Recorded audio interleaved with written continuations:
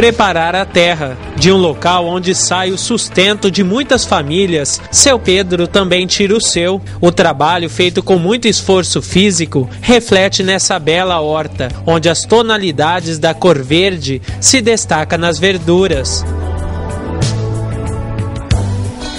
Para agilizar esse processo, responsáveis pelo Departamento de Agronegócios do município, junto com um agrônomo, ajudam seu Pedro a realizar o trabalho. Enxadão, agora só para as pequenas coisas. Uma enxada rotativa e uma máquina encanteadora fazem o processo, e quem ganha é o produtor. A gente fazia um trabalho com um trator grande e só que tem lugares que não dá para entrar o trator grande e agora com a aquisição desse novo equipamento, nós vamos poder melhorar a vida do pessoal para facilitar o plantio. Aqui eu plantei hortaliça todas, né? Alface, couve, almeirão, rúcula, cebolinha, salsinha, é, tomatinho, cereja. Antes aqui, é, sem a, a tobato na, no braço aqui, é, três canteiros aqui você gastar um meio dia né?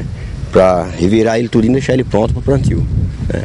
Agora com a tobata aí é meia hora tá pronto.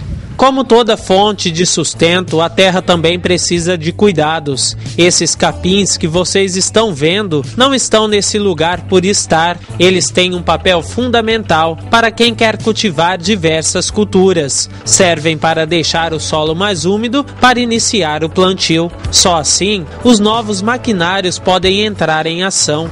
Residem no bairro Cinturão Verde cerca de 200 famílias, que a partir de agora poderão utilizar os maquinários e, além do mais, agilizar o tempo de serviço. Com todo esse preparo, seu Pedro fica feliz ao colher os pés de alface, embalar e até então cultivar banana e outras culturas em uma área de aproximadamente um hectare. Com a ajuda da tecnologia, ele já planta essas mudas para colher e vender em Três Lagoas.